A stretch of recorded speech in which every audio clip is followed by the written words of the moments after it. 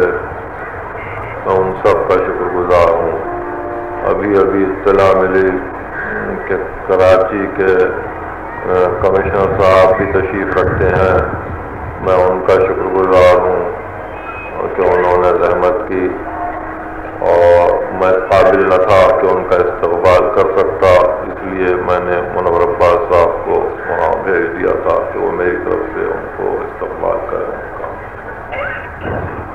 मुझे आज की तकरीर में चंद बातें कहनी हैं। और चूँकि मैं बुलंद आवाज़ से बोलने के काबिल नहीं हूँ, इसलिए जो कुछ भी आवाज़ आपको सुनाई दे, उसको कबूल कीजिए, महफूज कीजिए और कोशिश कीजिए कि यह रह जाए। बात यह है कि कुरान मजीद हमारा वाहिद सरमाए हयात है। कुरान मजीद हमारी ज़िंदगी है। यहाँ तकरीरें हो रही हैं। कुरान इल्म है। इस उनवान पर यहाँ तकरीरें हो रही हैं हमारा कुरान और मुसलमानों का कुरान अलग नहीं है। हमारा कुरान वही है जो इस वक्त आलम इस्लाम के हाथों में है। इसी कुरान की हिफाजत अहल बैत ने की और आलम इस्लाम के हाथों में जो कुरान रह गया, वो अहल बैत ही की वजह से रह गया। कोई और सूरत नहीं थी उस कुरान के रहने की जो अब नज़र आ रहा है। इसका हर सूरा मुकम्मल है, हर सूरा मुरतब है। रसूल ही के ज़माने में यह कुरान जमा हुआ और खुदाबंद अली आला ने इसकी ज़िम्मेदारी खुद अपने जिम्मे ली थी। इन अलैना जम हम ही पे लाजिम है कि उसको हम जमा भी कर दें। हुक्म पैगंबर से उसकी तरतीब दुरुस्त हुई और आइम्मा ने इरशाद फरमाया, हमारी फ़िका का ये हुक्म है और हमेशा याद रखिए हम जब नमाज़ पढ़ते हैं तो सूरह हमद के बाद हमको एक मुकम्मल सूरा पढ़ने का हुक्म है। या हम सूरह बकरा पढ़ें, या सूरह इकरा पढ़ें, या सूरह कौसर पढ़ें, या सूरह अनफाल पढ़ें, एक मुकम्मल सूरा पढ़ने का हुक्म है। अगर किसी सूर्य में किसी मकाम पर जर्रा बराबर भी कमी और बेशी होती तो पूरा सूरा पढ़ने का हुक्म नहीं मिलता। हर आय, रकात में हमको सूरह हमद के बाद पूरा सूरा पढ़ना चाहिए, ताकि हम सही तौर पे नमाज़ को अदा कर सकें। इसलिए ये नम कुरान मजीद जो सब है, वो उसमें कोई तफरीक नहीं है कि ये किसी फ़िरक़े का है, किसी फ़िरक़े का नहीं है। ये सारे आलम इस्लाम का कुरान है। दूसरा अमर जो काबिल गौर है और याद रखने का काबिल है, वो ये कि इस कुरान की अब तफसीरें शुरू हुई। अब तफसीरें शुरू हुई तो हज़ारों तफसीरें हुई और लाखों तफसीरें अब तक हमारे नज़रों से, क्या गुजरती, बहरहाल कुतुबखानों में मौजूद हैं। और अभी बहुत से तफसीरों का इम्कान है, मुतशाबे को महकम बनाना है, महकम को फिर मुतशाबे बनाना है, कोई अजीब सूरत है, तफसीरें हो रही हैं। लेकिन अब खसूसियत के साथ आलम इस्लाम का ये आलम है कि जितनी तफसीरें की जा रही हैं, उसमें कुछ मकासद हैं। कुछ मकासद के साथ तफसीरें हो रही हैं। किसी का मकसद यह है कि अपनी इलमियत को दिखलाए, कुरान की तफसीर करे। किसी का मकसद यह है कि अपने किसी ममदूह की पॉलिसी को बाकी रखे और कुरान की तफसीर करे। किसी का मकसद यह है कि अपने बुज़ुर्गों के रवाबित जो कुरान के साथ थे और जो सलूक था, उसको बाकी रखे और कुरान की तफसीर करे। किसी का मकसद यह है कि इकतदार परस्ती के साथ साथ कुरान की तफसीर करे कि कुरान इस तरह से इकतदार वक्त की हिफाजत करता है। किसी का मकसद ये है कि फ़लसफ़े के लिए कुरान की तफसीर की जाए ताकि मालूम हो कि ये हक़ हैं, ये गवामिद है और कुरान इन तमाम फ़लसफियाना मसाइल को पेश करता है। किसी का मकसद यह है कि सर्फ नहो मंतिक बयान के लिए कुरान की तफसीर करें ताकि मालूम हो कि अरबी अदब पर कुरान कितना मुहित है। इस सिलसिले में कराची और कराची से गुजर के पाकिस्तान में भी बहुत सी तफसीरें हो रही हैं। हैदराबाद, कराची में खसूसियत के साथ मैं दो चार ऐसे बुज़ुर्गों से भी वाकिफ हूँ जो उसकी तफसीर कर रहे हैं। मगर उनके मकासद वो नहीं है, वो नहीं है जो सही तौर पे होने चाहिए, मगर तफसीर हो रही है और एक काम हो रहा है। तो कुरान का मकसद एक है, तफसीरों के मकासद अलग अलग है।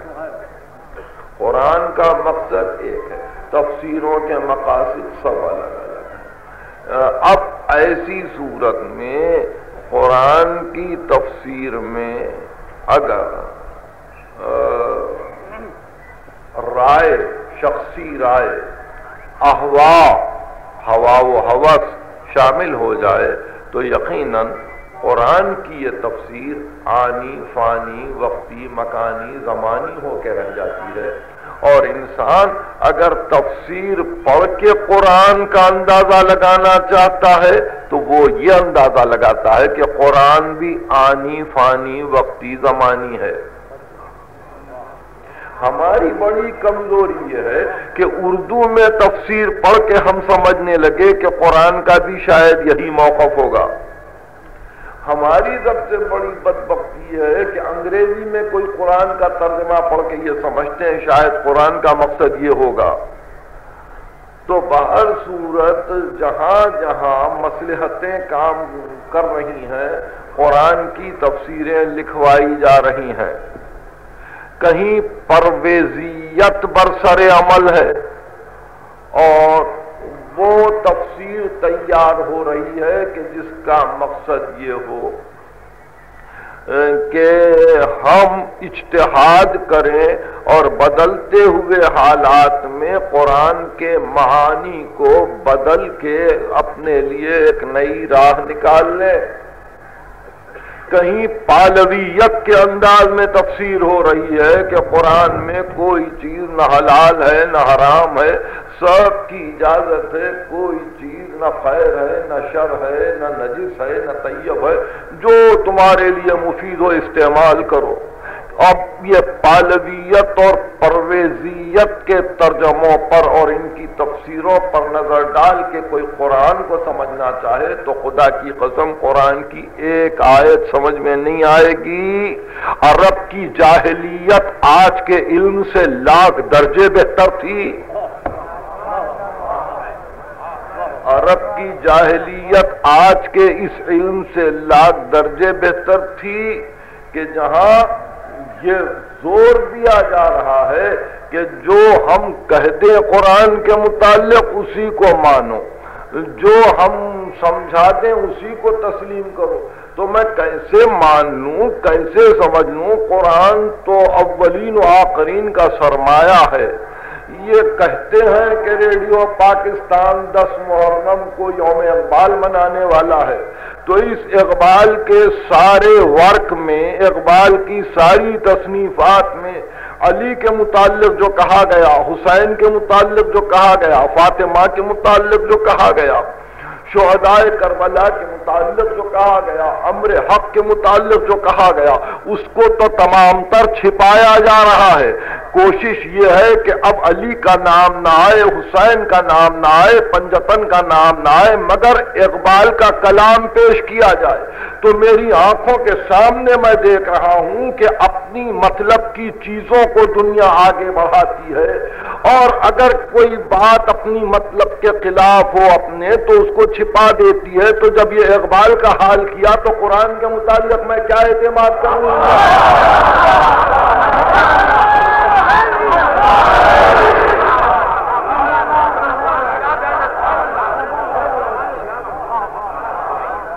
आपने देखा? बहुत गौर से सुनिए, यानी इकबाल का नज़रिया वतनीत कुछ और है। इकबाल मुसलमानों को जोग्राफी हदूद का पाबंद नहीं समझता है, मगर अब जो भी पढ़ा जाएगा, वो इस तरह से पढ़ा जाएगा, जैसे इकबाल ही हमारी इस वक्त की मौजूदा सियासी ज़िंदगी के जिम्मेदार है। इकबाल को मैंने दर्शन दर्शन पढ़ा है। इकबाल से मैं पर्सनली वाकिफ था। इकबाल से मेरी मुकातबत थी। इकबाल के शिकवे का मैंने जवाब दिया है। मैं कुछ ज़्यादा बेहतर समझता हूँ बात और हजरात से जो इकबाल को जानते हैं, लेकिन इसके बावजूद जिस तरह से कि इकबाल को पेश करने की कोशिश की जा रही है, वो इस तरह से कि जैसे इकबाल को मज़हब से या किसी खास फिरके से या आल मोहम्मद से या अहिम्मा से कोई रब्त नहीं है। और फिर रोज आशूर इकबाल का दिन मनाया जा रहा है। और इस तस्वुर और नज़रिए के साथ कि गोया इकबाल ने रोज आशूर के मुतालिक कुछ नहीं कहा तो इस जीती जाती दुनिया में जबकि इकबाल को मरे हुए कुछ ही दिन गुजरे, जबकि इकबाल का पूरा कलाम मौजूद है, अपनी मर्ज़ी के मुताबिक चुनते हैं, अपनी मर्ज़ी के मुताबिक फेंक देते हैं, जैसी चाहे तावील करते हैं, जैसे चाहे माना लेते हैं।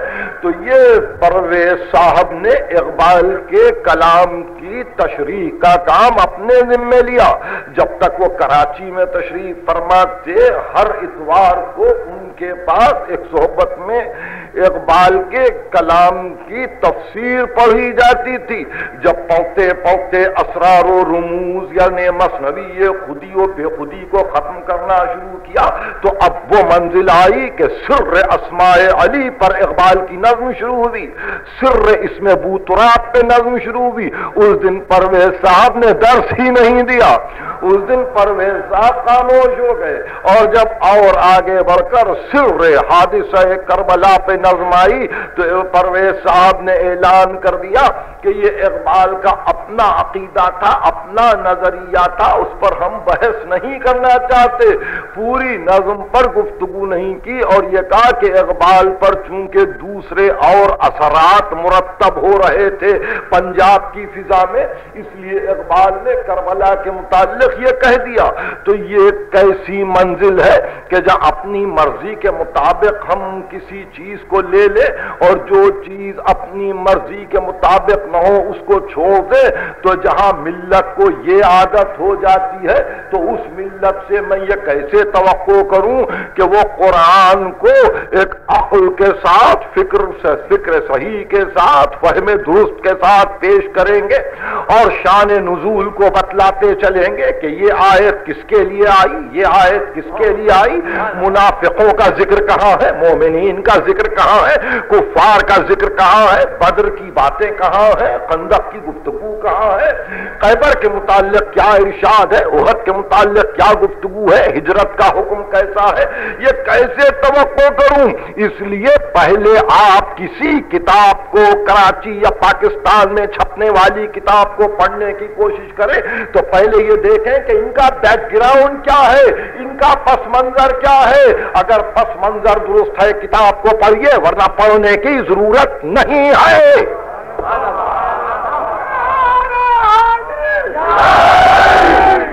मैं इल्म को रद्द नहीं कर रहा हूँ। मैं एक राह हक बतला रहा हूँ कि पहले बैकग्राउंड देखो। क्या बैकग्राउंड है? यानी अगर नाफिदियत बैकग्राउंड है, अगर आले मोहम्मद की दुश्मनी बैकग्राउंड है अगर आले मोहम्मद से कनारा कशी बैकग्राउंड है तो उस किताब को पढ़ने की क्या ज़रूरत है? कौन सा इल्म है उसमें? उसमें इल्म कौन सा है जो बाब मदीना इल्म से हटकर लिखी जाए किताब?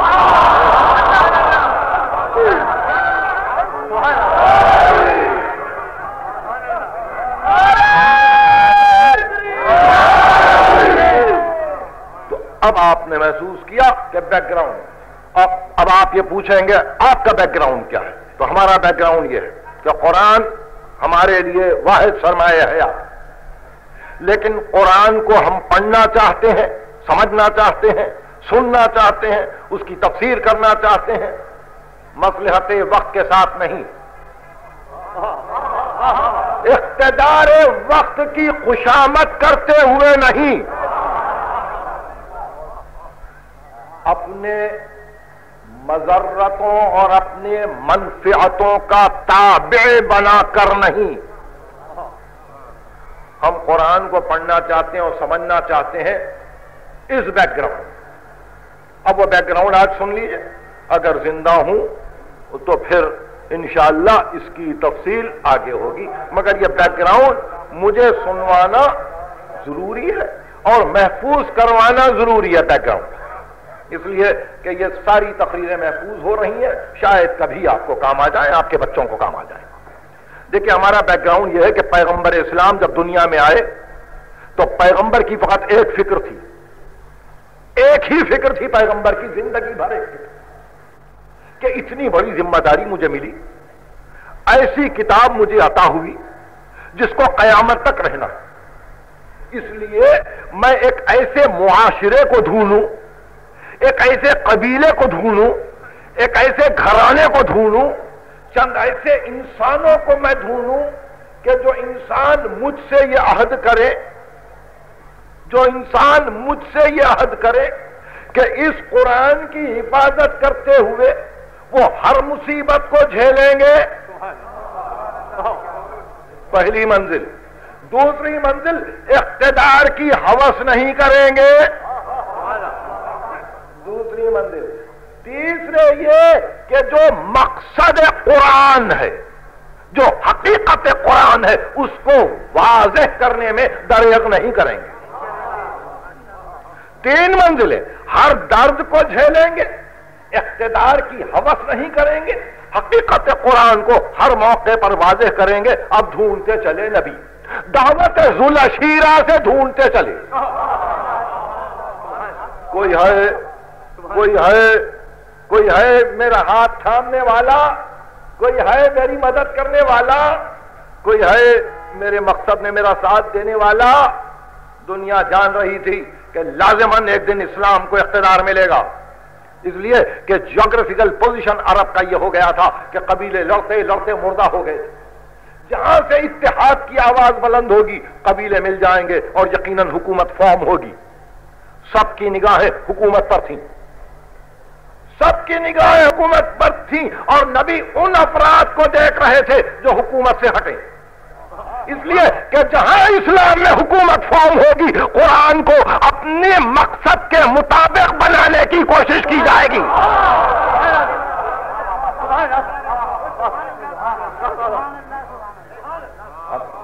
ये मुस्तकिल इसलिए कोशिश ये थी कि इकतदार से हटे और फिर मुसीबतें पड़े। तो झेलें और फिर तीसरी मंजिल यह है कि उसके मकसद सही को वाजे करें। अब हमारा ये अकीदा दुरुस्त है या नहीं है, इसकी तो वजाहत, सराहत, तफसीर और इसका यकीन आपको कुरान दिलवाएगा। कुरान दिलाएगा और ऐसी वजाहत के नबी आखिर वक्त तक डरते रहे। कुरान ने वजाहत की और इस तरह से वजाहत की सूरह आल इमरान, कलाम मजीद का तीसरा सूरा उसकी एक सौ चवालीसवीं आयत। एक सौ चवालीसवीं आयत।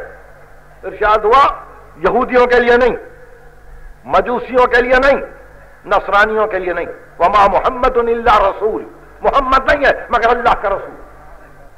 कद कलत मिन कबल रसूल। इससे पहले और भी रसूल गुजरे।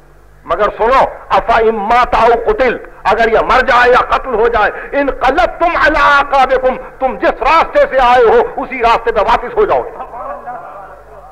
वो मैन कलिब अला अकबई अल्लाह शया, जो वापिस हो जाए इस दीन से वो अल्लाह को नुकसान नहीं पहुंचाएगा। वह सैयद जिल्ला शाकिरीन, अल्लाह जजा देता है शुक्रगुजार बंदों को। तो इस आयत ने इत्तला दे दी कि आने वाले वापिस भी जाएँगे।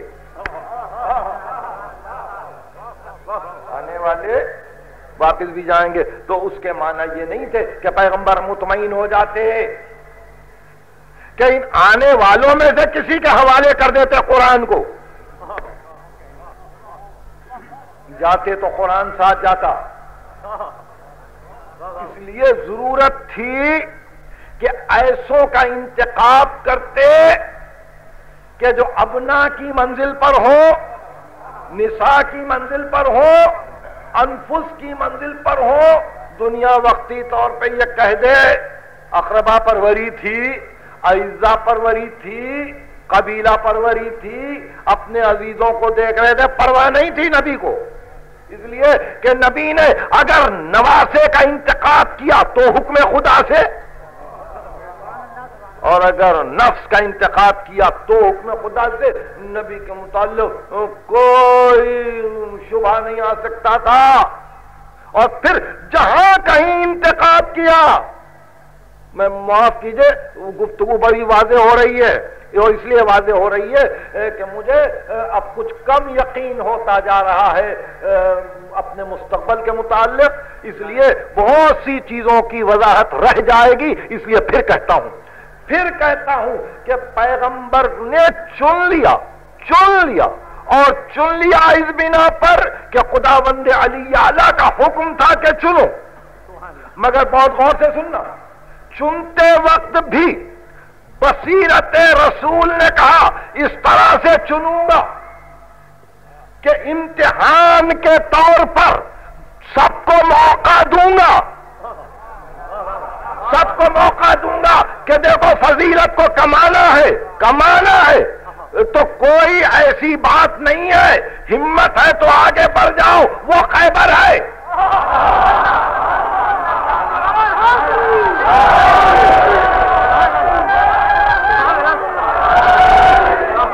वो खैबर है, हौसले निकालो। फिर यह न कहना कि चचाजाद भाई और दामाद की परवरिश मंजूर थी।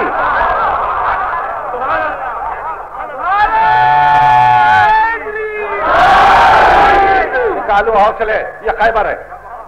नहीं देखो, ये पहली मंजिल है, ये बद्र है। ये कुफार क्रैश आए हुए हैं, ये बद्र है। हौसला निकालो, ताकि अगर मैं इसकी तारीफ़ करूँ तो उस वक्त न परेशान होना, न परेशान होना। इसलिए कि इम्तिहान भी ज़ाहिर बजाहिर होता जाए। कहीं यह न कहा जाए कि अजीजदारियों की वजह से और अरब की कबीला परवरी के एतबार से पैगंबर ने चुन लिया। नहीं। नहीं, मैंने जगह जगह पर इम्तिहान लिया है और इम्तिहान लेने के बाद यह तय किया है। अब मंजिल रही, दुनिया जान रही थी। अब मंजिल रही, फकत वो के जहाँ सूरह बरात की आयतें दी गई। सूरह बरात की आयतें दी गई कि अल्लाह दूर है और अल्लाह दूरी चाहता है। कि बरातुम मिन अल्लाह ही व रसूल।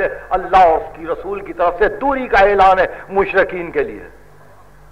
तो कभी वाजे कर चुका हूँ, ऐसे मौके पर भी पहले मौका दिया कि जाओ। मगर उसके बाद जब ये जान गए कि मकसद कुरान मुतजलजल हो जाएगा, इस वास्ते होगा कि आयत में हुक्म यह था कि मुशरकिन से दूरी का हुक्म है।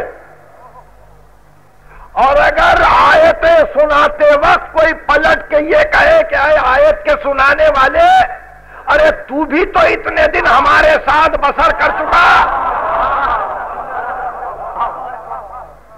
तो क्या हशर होगा? आपने कहा, लाओ, वापस लाओ। उसको दे दो, उसको दे दो, कि जिसकी सारी ज़िंदगी में शायब शिरक न हो शायब कुफर न हो। उसको दे दो कि जहाँ तोहीद ही तोहीद हो, ईमान ही ईमान हो। तो हर मौके पे इम्तिहान की मंजिल पर। इम्तिहान की मंजिल पर पहुँचा कर इम्तिहान लेकर फजीलत का शरफ बख्शा और कहा कि ताई कि ये दुनिया में बात रह जाए, कि ये वो लोग हैं जो यकीनन अपने जाती मफादात के लिए मकसद कुरान को नहीं बदलेंगे। देखिए, मैंने गुफ्तगु खत्म की, ये हमारा बैकग्राउंड है। ये हमारा बैकग्राउंड है। हम गुफ्तगु सुन्नीयत और शीयत पे कभी नहीं करते। हम गुफ्तगु मकातीब फिकी पे नहीं करते, सब जिए। और हर एक सुन्नी अपनी फिका में मज़बूत सुन्नी रहे और हर शिया अपने अमल में मज़बूत शिया रहे। यानी मजलिसें इसलिए नहीं है कि तुम इधर आओ शिया बन जाओ। मजलिसें सिर्फ़ ये है कि हम अपने पस मंजर को बतलाते जाए, अपनी तारीख दिखलाते जाए, मुदाफियात करते जाए। ये खैबर नहीं है, बदर नहीं है, खंदक नहीं है, हुनैन नहीं है, मगर मजलिस एक मारिक जिहाद है कि जहाँ हम मुसलसल ऐलान करते आ रहे हैं, हमको पहचानो तो।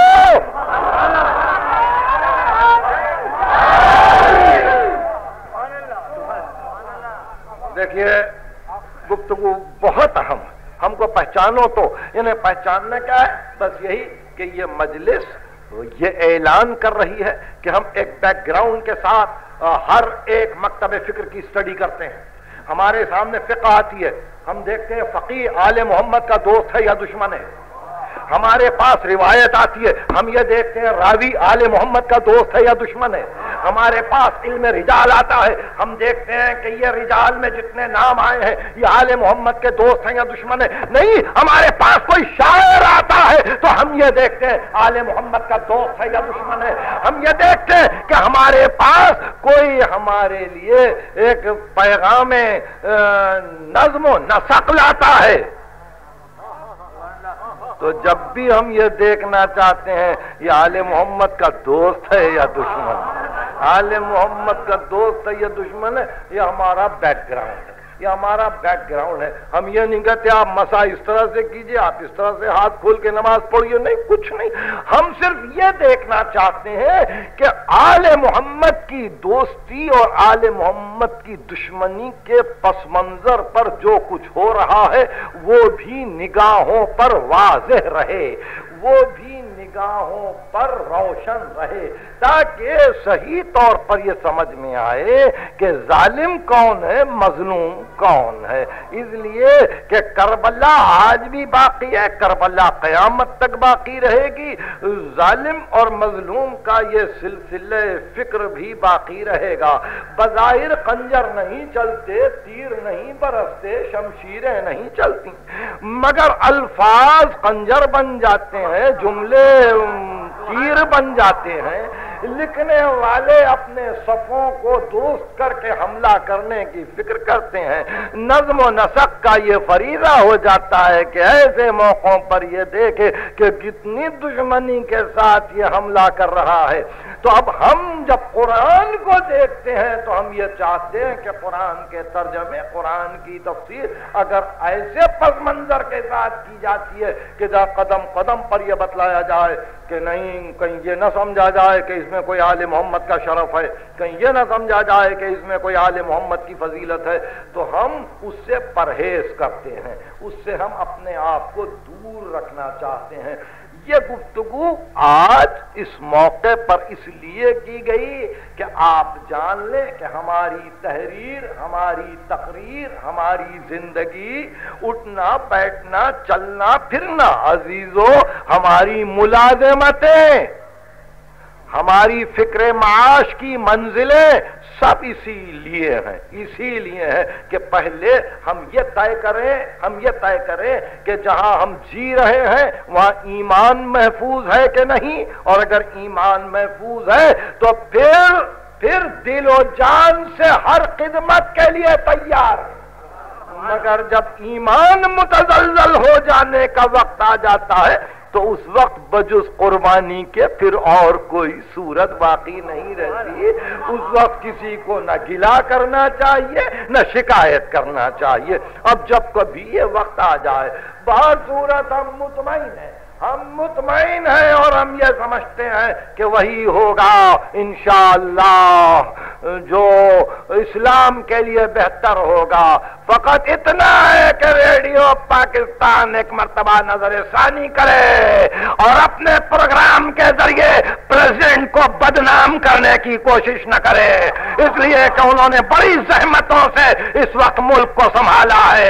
ये छोटे छोटे अहदेदार अगर अपनी कोशिशों से सदर पाकिस्तान को बदनाम करना चाहे तो वो बड़ी बात हो जाएगी और उस वक्त हमारी जबान चुप रहेगी, न हमारे कलम चुप रहेगी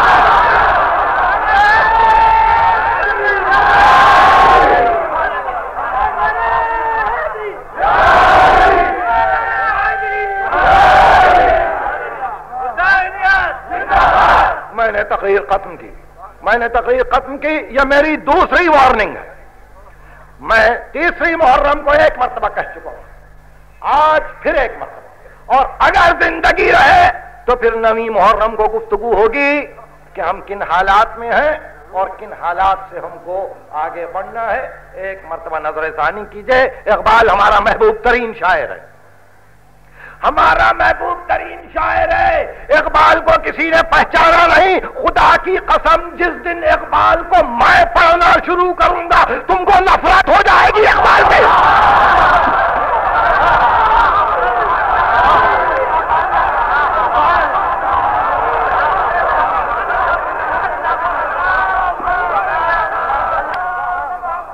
बस आज की हद तक। मैं ज़्यादा जहमत नहीं दूँगा। आ, मैं आपका शुक्रगुजार हूँ। मैं मेहमानों का शुक्रगुजार हूँ। खसूस हम अपने महबूब कमिश्नर के शुक्रगुजार हैं कि उन्होंने जहमत की। मुमकिन है कि वो मेरी इस आवाज़ को किसी मंजिल तक पहुँचाने की कोशिश करेंगे।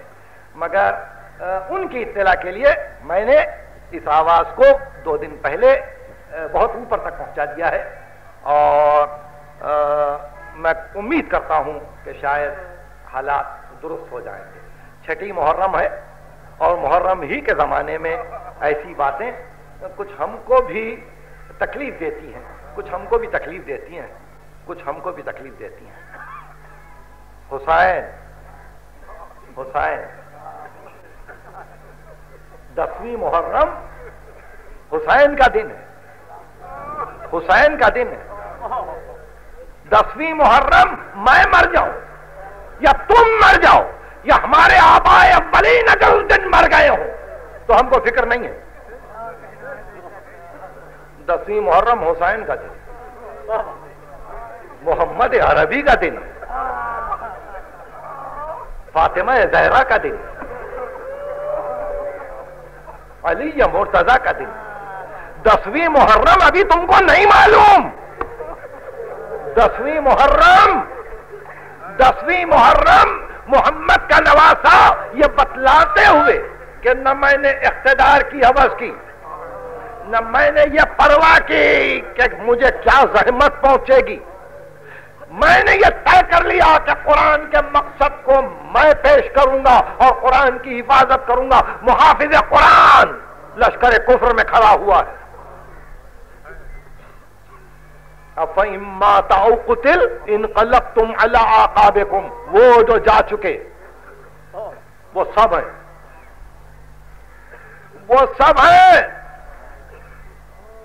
और ऐसे मौके पर हुसैन कहते हैं कि अब अपनी कुवतों को आजमा लो। तो अब वो दसवीं मुहर्रम की आप कौन सा दिन मनाएँगे? इकबाल का। सुनो सुनो, इकबाल ने कहा, तीरों, सिनानों, खंजरों, शमशीर माजूस। मुझे तीर की आरज़ू है। मुझे नैदे की आरज़ू मुझे खंजर की आरज़ू है। मुझे शमशीर की आरज़ू तीरों, सिनानों, खंजरों शमशीर मारजूस, बामन नया क्या मसला के शब्बीर मारो अरे मेरे साथ ना आना मैं शब्बीर के रास्ते पे चल रहा हूँ। इकबाल, अगर यौम आशूर इस शेर से शुरू किया जाए मुझे मंजूर है। मुझे मंजूर है। इकबाल ने जो कुछ हुसैन के लिए कहा है, अगर वही पढ़ा जाए और उसको यहाँ से शुरू किया जाए, तीरों, सिनानों, खंजरों, शमशीरम आरज़ू बामन मया के मसल के शब्बीरम और जो मसल के शब्बीर को तलब करे, वो अपने पैगाम में मुस्तकिल है मुस्तकिल है। आगाज़ से लेके अंजाम तक एक ही मसलक है उसका, एक ही मतलब है। तो ऐसी सूरत में मैं यह चाहता हूँ कि आपके पेश नज़र भी ये रहे कि आप पहचाने मुहर्रम की दसवीं क्या है। अकेले खड़े हुए हैं। आज भी अकेले हैं। उस वक्त भी आवाज़ दे रहे थे। अमामिन नासिरिन अंसरोना कोई है हमारी मदद करने वाला? आज भी आवाज़ आ रही है। कोई है हमारी मदद करने वाला?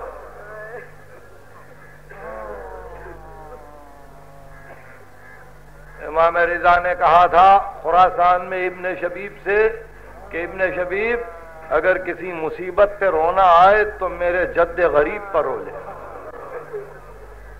जब आखिरी मंजिल पर रुखसत होने लगे बेटे से हुसैन तो कहा, बेटा, जब मदीने जाना, मेरे दोस्तों को सलाम कहें।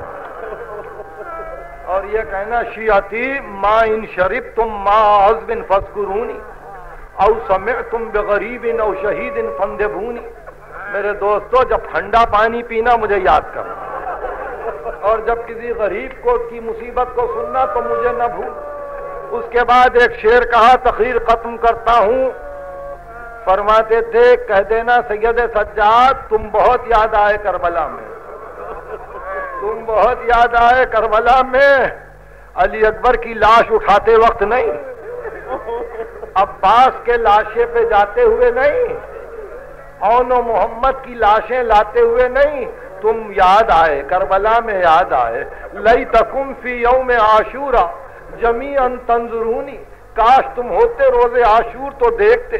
कई फस्ती तिफली मैं एक छोटे बच्चे के लिए किस तरह से पानी मांग रहा?